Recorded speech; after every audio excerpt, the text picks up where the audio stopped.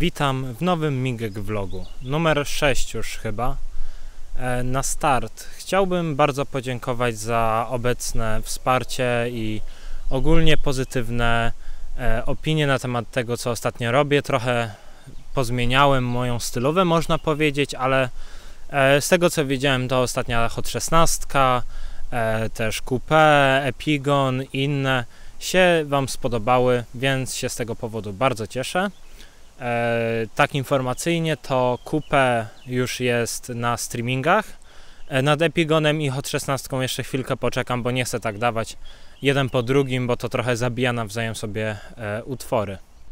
Niestety obecnie mam z powrotem blok tekstowy, Produkcyjnie u mnie git, dalej tam dużo robię, nawet zainwestowałem w takie śmieszne cacko, nie wiem, tutaj gdzieś pokażę.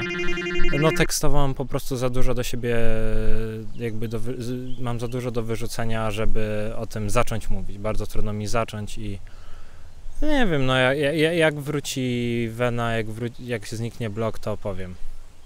To będzie wiadomo, bo będą nowe traki ogólnie. E, jeśli chodzi o moje obecne plany albumowe, to sprawa wygląda tak. E, na pewno jest w produkcji e, Golemy album, cały album golemowy.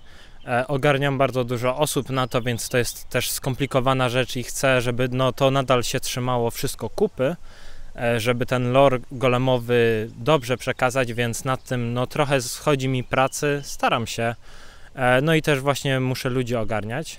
E, też w pracach tak jakby są takie luźne, e, nie tak konceptowo albumowe traki e, pod parasolem Weba Mixtape. To robię akurat z Karkową. Kiedy wyjdzie, nie wiadomo, bo to jest takie coś bardziej luźnego. Możliwe, że wyjdzie po następnej webie, czyli w trakcie wakacji najbliższych, ponieważ no, jest to weba mixtape. Są to rzeczy, które w dużej mierze były robione w webie bądź wymyślone w webie.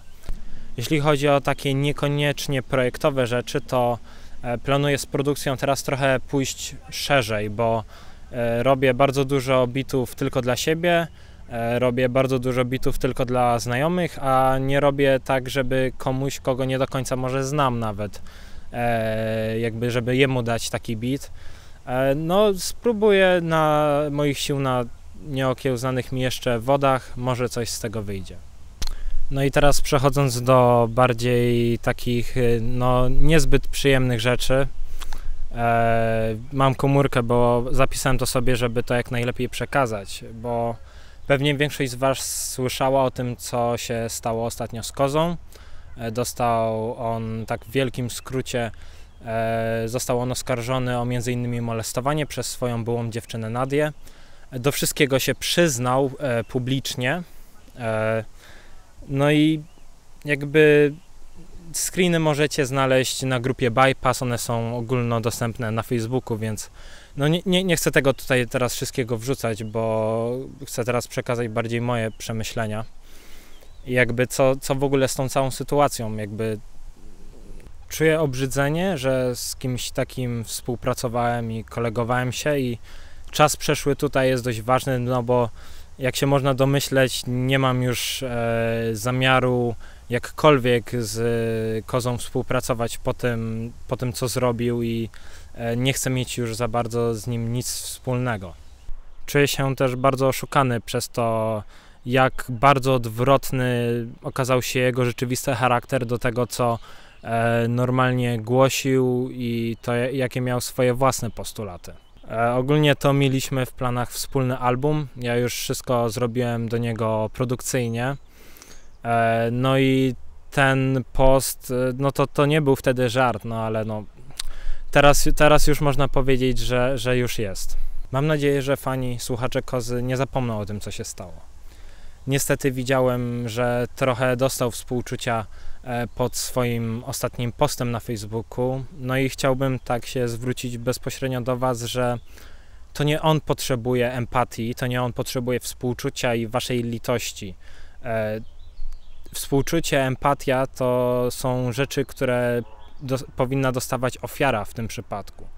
E, to, że Koza się przy, przyznał do tego, jakkolwiek nie jest zadośćuczynieniem jego win i Proszę po prostu, żebyście o tym pamiętali, żebyście nie puścili takich rzeczy płazem, żeby tego nie wrzucić za dwa miesiące pod dywan e, i udawać, że no, zrobił coś złego, ale no się zmienił. No, powiem tak, ja jakby sam zauważyłem, jak bardzo można udawać jako osoba, jak bardzo można zmylić nawet e, znajomych, nie mówiąc już o fanach, e, z tym, jakim się jest rzeczywiście człowiekiem. I naprawdę zastanówcie się nad tą całą sytuacją, bo to nie jest takie e, proste, że po prostu się przyznał i powinniśmy e, wesprzeć go w tym, że dosłownie spierdolił i odwalił niewybaczalną rzecz. To nie jest coś, co się powinno bagatelizować. Niezbyt wesoły temat dałem na koniec, ale nie chciałem milczeć, nie chciałem tego ignorować, bo czuję się jakby mimo że mówienie o tym jest dla mnie dość ciężkie, bo klepie to mnie bardzo emocjonalnie, to nie chciałem milcząc pokazać, że przyzwalam na jakiekolwiek takie zachowanie. To jest dla mnie nieakceptowalne i ja nie, nie widzę miejsca na wybaczanie jakkolwiek e, takich rzeczy. Ja już się z Wami żegnam. E, do zobaczenia, serwus. Mam nadzieję, że następnym razem w milszych okolicznościach. I no.